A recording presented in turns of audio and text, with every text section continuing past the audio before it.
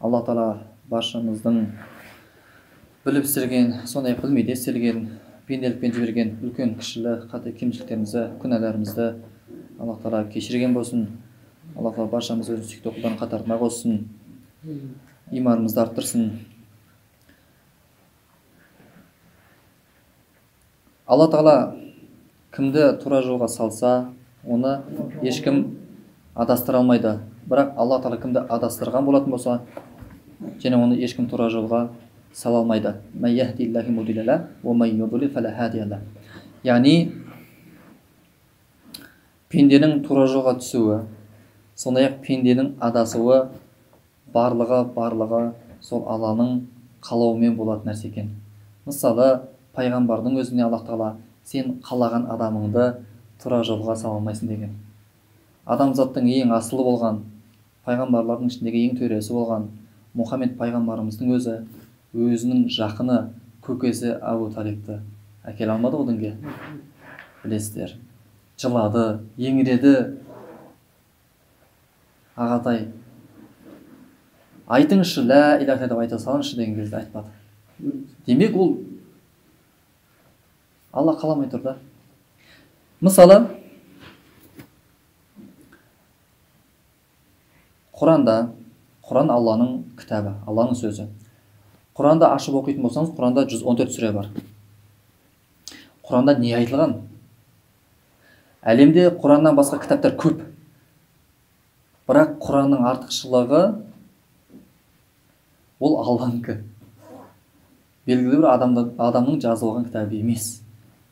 Құранда пайғамбарымыз саллаллаху алейхи уассаламға құран түскен кезде меккелік жаңағы мүшриктер дін дұшпандары е бұл мұхаммедтің өзінің сөзі деп айтқандар болған.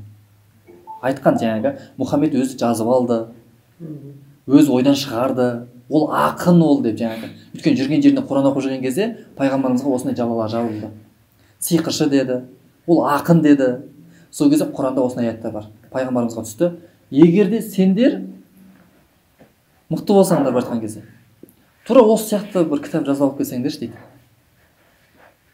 құранды сендер жаңағы мұхаммед жазып алды деп тұрсыңдар ғой тура сол сияқты жарайды сендер де кітап жазып алып келіңдер дейді жарайды бір сүре алып келіңдер дейді жарайды бір аят алып келіңдер деп айтқан кезде үш рет айтады олар ештеңе жазылған жоқ былайша айтқан кезде ол сөздер өтірік екендігіне дәлелді өйткені неге құран сияқты кітап жоқ өйткені ол адам баласы құран сияқты құранның ішінде келген оқиғалар. Мысалы бүгінгі ә, жұма күні оқылатын кәф сүресі бар ғой. Үңгір деген сүре. Сол үңгір деген сүреде ішінде жаңағы үңгірде қалып кететін үш жігіттің оқиғасы жайында айтылады. Зұлқарнай жайында айтылады. Пайғамбар мұхаммед саллаллаху алейхи уассаламға егер де сен пайғамбар болсаң дәлелдеші деп бір дәлел сұрайды адамдар. Сол кезде пайғамбарлар белгілі бір нәрсені көрсетеді. Ол нәрсе не деп айтамыз? Мұғжиза дейміз. Пайғамбарлардың мұғжизасы болған. Яғни мұғжиза әдеттен тыс. Мұғжиза қашан көрсетіледі деген кезде пайғамбарлар дінді жеткізу барысында алланың сөзін айтқан кезде яғни мен пайғамбармын мен алладан келген елшімін деп дін жеткізген кезде адамдар қарсылық танытады. Қалай сен пайғамбарсың? Дәлелдеші жарайды деген кезде онда сен былай былай нәрсе істеші айды екіге жар. Аузына келген нәрсені айта берген. Сол кезде көрсететін нәрсені пайғамбарлар тарапынан көрсетілетін нәрсені осыны мұғжиза дейді. Бүкіл пайғамбарларда мұғжиза болған білесіздер. Жаңа айттық алла тағала кімді тура жолға салса ешкім адастыра алмайды. Алла тағала кімді адастырса ешкім тура жолға сала алмайды дедік. Құран мұғжиза.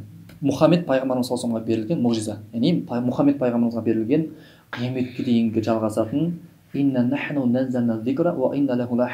деген аят бар біз құранды түсірдік және оны қияметке дейін өзіміз қорғаймыз дейді құран ешкім өзгерте алмайды бірақ білесіздер құранның алдындағы үш кітап бар еді түскен алла тағала тарапынан бірақ негізі жойылып кеткен інжіл таурат забур деген кітаптар білесіздер бірақ құранға қатысты не деп айтты оны өзіміз қорғаймыз деп айтқан ал құран мұхаммед пайғамбарымызға берілген мұғжиза бұл қияметке дейін сақталады. Ешкім өзгерте алмайды енді осы құран пайғамбарымызға түскен муажиза болатын болса енді құранның ішінде 25 пайғамбардың есімін аллах тағала не дейді? Келтіреді. Өмірбаян оқиғаларын келтіреді. 25 пайғамбардың. Сонда анау адам атадан бастап соңғы пайғамбар мұхаммедке дейін 25 пайғамбар ғана болған ба? Жоқ көп. Бірақ аллах тағала жиырма бесін қалады яғни. Мысалы ибраһим ибраһим пайғамбарды білеміз баршамыз. Мұса пайғамбарды иса пайғамбарды дәуіт зәкәрия сияқты.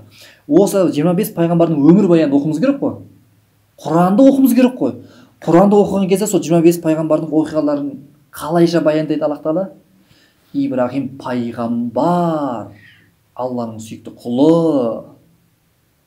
Сол пайғамбар дінді жеткізу барысында кәпірлерге дінді жеткізу барысында неше түрлі қиыншылықтарды көрді сынақтардан өтті. Сол дінді жеткізу барысында дінді жеткізген адамдардың ішінде кім болды? Әкесі болды ғой. Пайғамбар екен де баласы. Әкесі кәпір екен ғой. Ол жай кәпір емес білесің пұт бар ғой. Соны жасайтын қолмен жасап әкесі соны тарататын. Кезде ойлаңыз иә? Міне солай сыналды ибраһим пайғамбар. Яғни құранда сол пайғамбарды кәпір болған пұтты жасаған әкесіне қалай уағыз айтты? Өмірінен үлгі алыңдар дегендей ибраһим пайғамбардың өмірін өнеге ретінде бізге келтірген. Пайғамбарлардың атасы болып есептенеді ол алейхисалам сонда ибраһим пайғамбар әкесіне қалай уағыз айтады? Мәриям сүресінде я әбәти арабша әби деген әке. Әби деген әке болады да әкем деген сөз ғой әби әбәти болса әкешім әкетайым деп еркелетіп түсіндіңіздер ма ибраһим пайғамбар сол жаңағы біздің қоғамда біздің қоғамда намаз оқымайтын әкесіне намаз оқымайтын шешесіне кәпір деп дөрекілік танытып тамағын ішпейін деп жатқандар бар ма қайдан шығардың сен пайғамбар ибраһим пайғамбар ана әкесіне қалай уағыз айтып жатыр қалай қызмет жасап жатыр қалай дін жеткізіп жатыр я әбәти әкешім менің. Лә шайтанға сыйынбашы инна шайтан. Расында шайтан ол мейірімді аллахқа қарсы болған. Деп.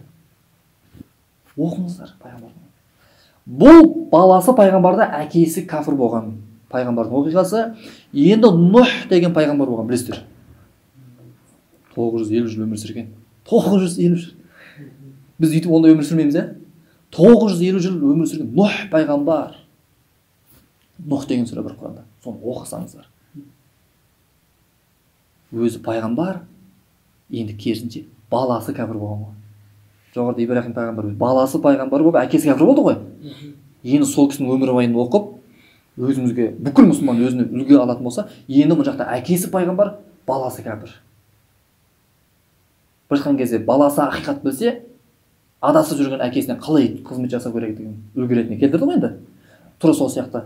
Әкесі хақты түсінген болатын болса басы қақпайтын теріс жолда жүрген бұзақы баласына енді құдайын танымайтын баласына қалай айтқан кезде. Нұх пайғамбар қалай дағуат жасады? Я бунайя ей құлыным дейді ғой. Бунайя ибн деген білесіз ба ибн. Ұл иә ибни болса ұл болады да бунайя болса балапаным. Тағы да еркелетіп қой сонда сізбенен біз уағыз айтқан кезде ей пәленше ей оңбаған намаз оқымайсың ба? деген қалай болады да мысалы? Сонда пайғамбарлар не деп айтты? Еркелетіп жаңағыдай жұмсақ айтып бұнайя құлыным отыр мына кемеге! деп топан су басқан кезде білесіздер жер бетінде. Отыр мына кемеге мына кемеге отырғандар құтылады да отырмағандар бәрі кетеді!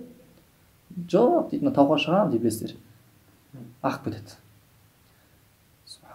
кетті болды алла тағала қаласа ғана қалаған адамдар ғана тура жолға келеді да қаламаған адамдар кетеді болды енді лут алейхисаламды білесіздер әйелімен қоса кетті мұса пайғамбардың оқиғасын білесіздер иса пайғамбардың оқиғасын білесіздер ал мұхаммед пайғамбар мұхаммед саллаллаху алейхи уассалам өмірбаянын оқитын болсаңыз жоғарыдағы бүкіл пайғамбарлардан да артық. Болды. Пайғамбарымыз саллаллаху қырық жасында пайғамбар болды. Жиырма үш жылдық дінге қызмет жасаған ол өмірбаянды оқитын болсаңыздар жиырма үш жылда дін жеткізді. Бірақ сол дінді жеткізу барысында неше түрлі қиындықтарды көрді. Оңайға соққан жоқ. Оңайға соққан жоқ. Сондықтан сізбенен біз күнделікті өмірде аллаға шүкір бес уақыт намаз оқып жүрміз мешітке келеміз тағысын тағы. Бірақ осындай мұсылмандардың бар екендігі осы қазақ қоғамында қазақстандағы еліміздегі мұсылмандардың жаңағы деңгейі жағы бар ғой білім деңгейі. Дінге деген жаңағы жаңағы ара қашықтығы жаңағы. Біз жаңағы әлемдік деңгейде салыстыратын болсақ көрші мемлекеттермен.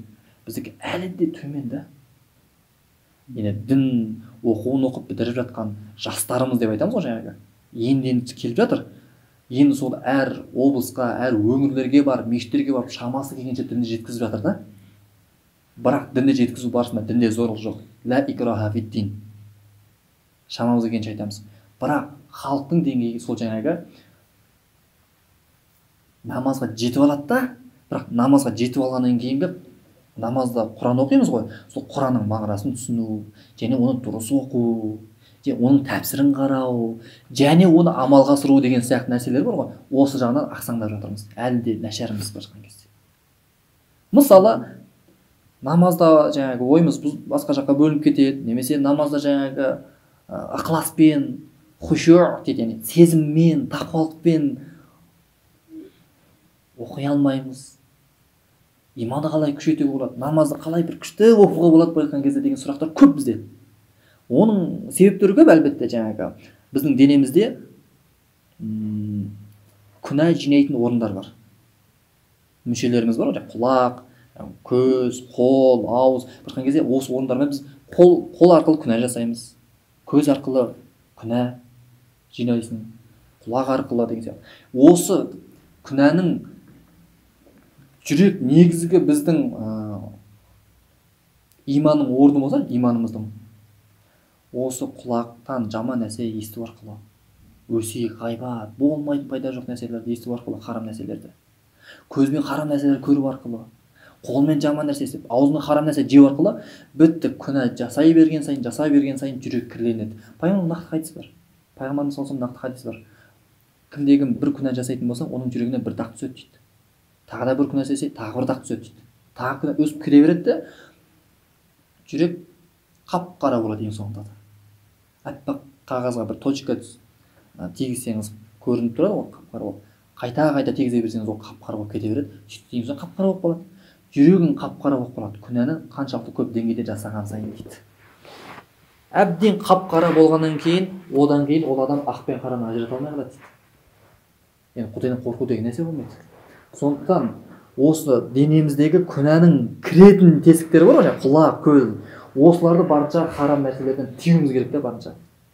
Енді күнәні мүлдем жасамайтын адам жоқ. Өйткені бүкіл адам баласы қателеседі. Бірақ күнәні жасап қойған кезде бірден астағфирулла астағфирулла деп дәретіңізді алып тәубеге келіп күнәні өшіру деген нәрсе бар екен да мысалы пайғамбар хадисі бар. Егер де кімде кімнің үйінің алдында бір дария ағып жатса дейді нақты соған бес уақыт суға түссе дейді. Ол адамда кір қала ма дейді пайғамбар сахабалар айтады жоқ ол күніге бес уақыт судан шықпайтын болса одан не деген ол? Тура сол сияқты дейді намаздан солай дейді да. Намаз оқыған адам күніге сіз күнәңді мысалы қараңызшы таң намазында көзіңізді аштыңыз да дәретіңізді алып намаз оқыдыңыз. Аллаға шүкір бүгін аман есен оянғаныма шүкір. Я алла деп жаңағыдай шүкір. Таң намазын екі рәкат парызын оқып алдыңыз да. Сөйтесіз жұмысыңызға кеттіңіз. Сөйтіп бес намазына дейін қаншама сағаттар бар мысалы. Ал автобусқа отырасыз машинаға отырасыз жұмысқа барасыз жұмыста бәрі күшті емес қой жаңағы. Намаз оқымай оқымайтыны бар дүниенің сөздерін айтады еркек аралас әйелдер аралас жүре береді ақ ит кіріп көк ит шығып жатқан бар аузынан. Сөйтіп жүрген кезде сіз жаңағы сіз де олармен қосылып арасында айт деп жібересіз тілмен кет бар деп жібересіз. Көзіңіз жаман нәрсені көріп қалады құлағыңыз жаман нәрсені өсектерге құлағыңыз шалынып қалады. Сөйтеді де енді ол орта жаман болғаннан кейін иманыңыз әлсірейді да ашуланшақ болып кетесіз. Сөйтесіз де аузыңыздан жаңағы бір боқтық сөз шығып кетуі мүмкін да мысалы. Кетші бар деп итеріп жіберуіңіз мүмкін ол мұсылманға тән нәрсе емес бірақ.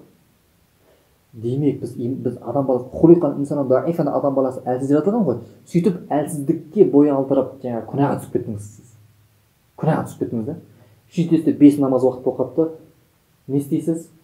Қой мен бесін оқып алайын дейсіз де барып дәретіңізді аласыз да. Ниеттендіңіз да дәретіңізді алдыңыз бүйтіп білесіз пайғамбар қайтыс бар қараңыз ана алланың мейірімі да. Намаз оқуға сіз бірінші не істедіңіз? Ниеттедіңіз да. Одан кейін сіз барып дәрет алдыңыз. Қолыңызды жусаңыз не дейді пайғамбар қолыңызбен істеген күнәлар төгіледі дейді да. Білесіздер ғой. Бетімді жусам мына көзбен ауыз істеген ауыз шайған кезде күнәлар төгіледі дейді. Аяқ жуған кезде аяқпен істеген күнәлар төгіледі дейді да. бірақ бұл жерде асың сызып кететін нәрсе қандай күнә? үлкен күнә бар ғой және кіші күнә. күнә екі түрлі болады.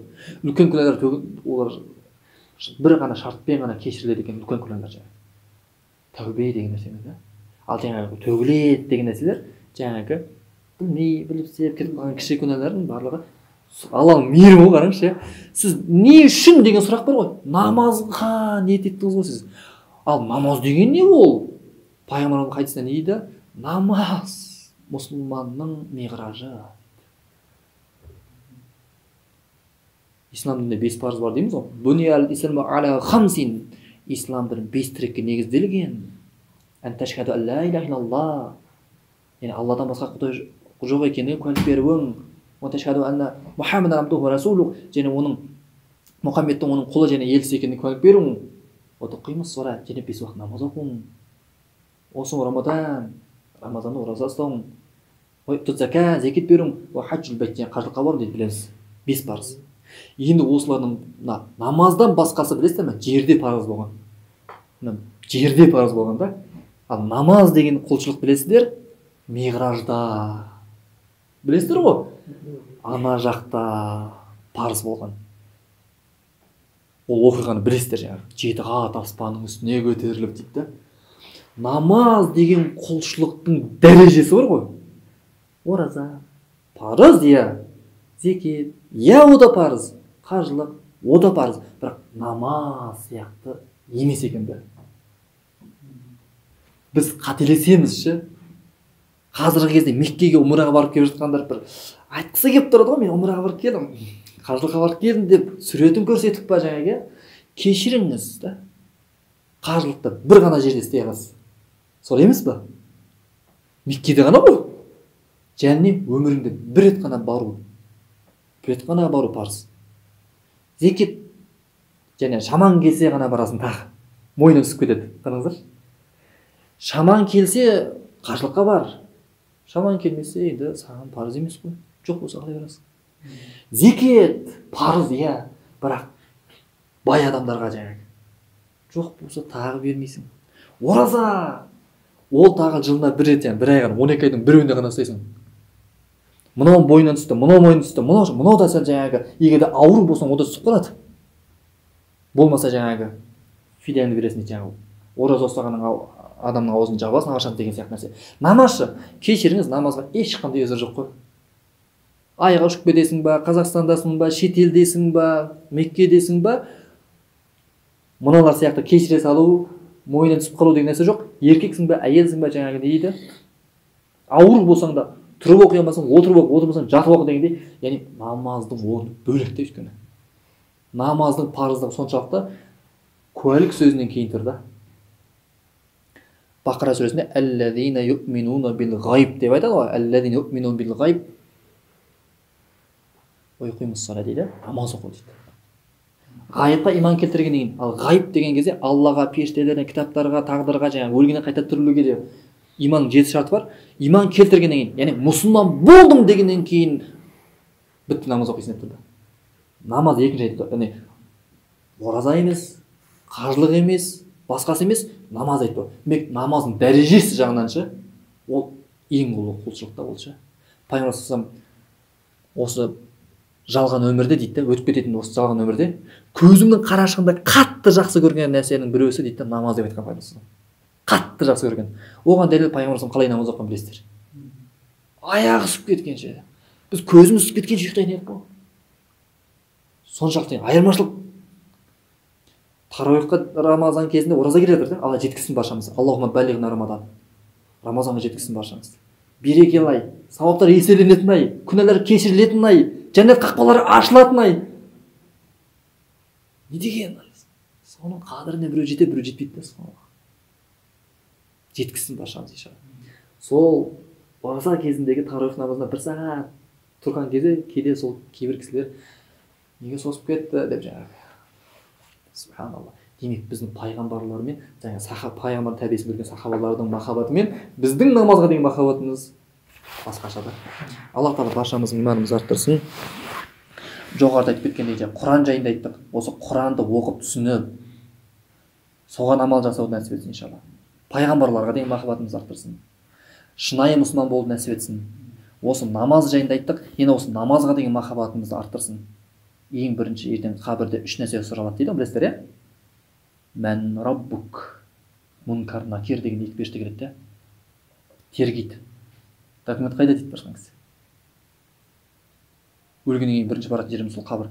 Ары қарай қараңыздаршы бұл өмір өтіп кетеді. Ал өлгеннен кейінгі ана жақтағы өмір есеп бар ғой. Ол ұзақ қой құранда жаңағы барзақ әлемі дейді айтқан қабір. Одан кейінгі қиямет басталып кеткен кезде жер бетінен тіріліп шығу адамдардың махшар алаңына қарай жинауы елу мың жыл тұруы дейді ана жерде өз терісіне қарай тұншығып тұруы дейді. Субханалла кешіріңіз адам адамнан қашады дейді. Бауырынан қашады дейді. Братан любой звонок қой звондаса сен үшін тұрып беремін деп жүргендер қашады ертең ше бір ақ звонок қой деп жүргендер? Аға кішкентай ғана сауабымнан берші десе бауырым кешір дейді. Өзім жатайын қашан ол ауыр күн? Білесіздер хадисте не дейді? Емшектегі баланың шашы ағарады дейді. Ертегі емес бұл ауыр күн да бұл ше? Қияметтің есімдері көп. Ғашия дейді. Жауып қалушы дейді. Или қасіреттер жауып қалады бітті яумиддин дейді білесіздер. Сот күні дейді. Охо бұл өмірде біреуге жала жауып соттаса сотта жібергендер көп қой жаңағы мені қатап кетті өтірік іліп тастады деген сияқты. Ана жақта біреу ешкім ешкім іліп тастай алмайды. Әділ сот болады болды. Конкретно не істедің соны көтересің болып тұрған кезде өте қорқынышты айтты имам абу ханифа күні құптан намазында намаз оқыған құптан құптан намазында зилзала сүресін оқыған ғой. Соның соңғы екі аятын білесіздер.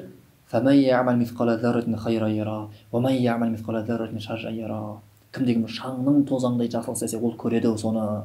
Шаңның тозаңдай жамандық істесе ол көреді, деген кезде намаз оқып болғаннан отырған жаңағы жамағат кетіп қалған мешітте шырақшы болады ғой жаңағы светін өшіретін сол кісі имамды мазаламай ақ қояйын деп кетіп қалған. Таңертең ертерек келгенде келсе әлі свет жанып тұр келсе бағана тастап кеткен ғой бағана отырған мешітте бүйтіп. Ойланып. Сол жерде әлі отыр дейді да. Құптанда отырған. Таң намазына келген кезде әлі отыр дейді сол жерде. Бүйтіп ұстай қалсам дір ете қалды дейді кәдімгідей. Таң болып қалғанда ана кісі білмей қалған да. Не ойландырды сізді деп артынан сұраған кезде зилзала сүресінің жаңағы екі аяты шаңның тозаңындай нәрсе дейді да. Субханалла біздің түсінік бойынша ақша ешқашан көп болмайды ғой дұрыс па?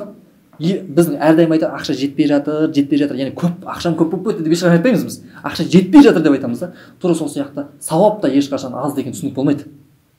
Яғни кішкентай ғана сауаптың өзі ертең сізді дозақтан құтқарып кетуі мүмкін түсіндіңіздер ма сондықтан пайғамбар не деп айтты? Құрманың жартысын болсын беріп садақа болсын дозақтан құтқарыңдар деген нәрсе бар да. Сондықтан сіздің берген бес теңгеңізді арзымаңыз да мәселе алла үшін беруде ғой алла сен көріп тұрсың міне. Шамамның келгенше сен үшін беріп жатырмын мен деп шаның тозаңдай нәрсе болса ертең соны есептейді алла өте қорқынышты нәрсе. Сондықтан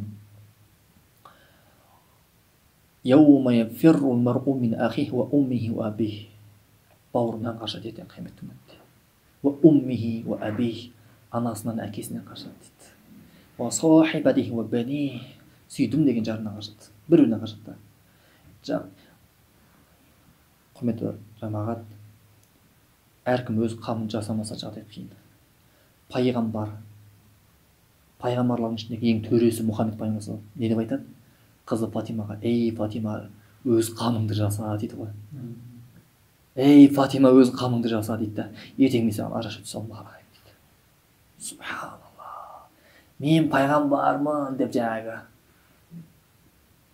ол менің қызмет деп құтқару жоқ екен да пайғамбар түсіндіңіздер ма біз пайғамбар болмасақ онда вообще онда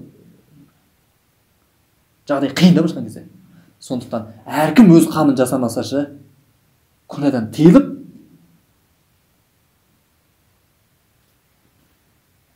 я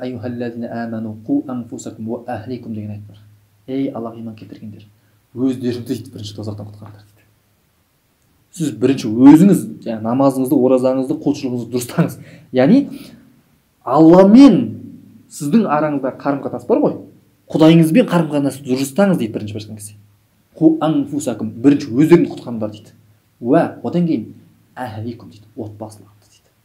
Егер де үйленген болсаң отбасыңыз болатын болса әйел бала шағамыз үшін кім біз жауап береді екенбіз сондықтан аллах тағала енді кішігірім айтылған насихаттарымызға алланың үйінде осы алланы еске алып аллахтың аятын хадисін айтып отырған біздерге алла тағала разы болсын күнәларымызды кешірсін тозақ отынан сақтасын سبحانك اللهم بحمدك أشهد أن لا إله إلا أنت أستغفرك وأتوب إليك я раббым аллах тағала я жаратушы жаппар иеміз біліп істелген білмей істелген ауырда жеңілде күнәларымызды кешірші я раббым аллах тағала тозақ отынан сақташы қабір азабынан сақташы я аллахым өзіміздің айтқан аят хадистерімізге өзіміздің бірінші амал жасау амал жасауымызды нәсіп етші аллахым.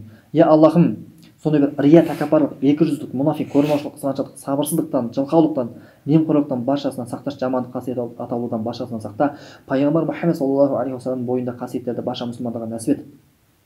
Я аллахым осы қол жайып отыр әмин деп қол жайып отырған аталарымыздың ағаларымыздың бауырларымыздың өздеріне отбасыларына әйел бала шағаларына бастарына амандық дендеріне саулық беріп ғұмыр жастарын ұзақ қылып я аллахым сондай бір хайыр салих амалдарды көптен көп жасауларымызды сондай амалдарымыздың қабыл болуын нәсіп ет. Я аллахым қияметтің күнінде жүзіміздің жарық болып амал дәттеріміздің оң жағымызда және алдымыздан беруін нәсіп етші таразыда сауап амалдарымыздың көп болып таразымыздың ауыр басуын нәсіп етші аллахым. Қабір азабынан сақташы я аллахым. Кәлима шахадатты айтып жан тапсыруымызды нәсіп етші аллахым.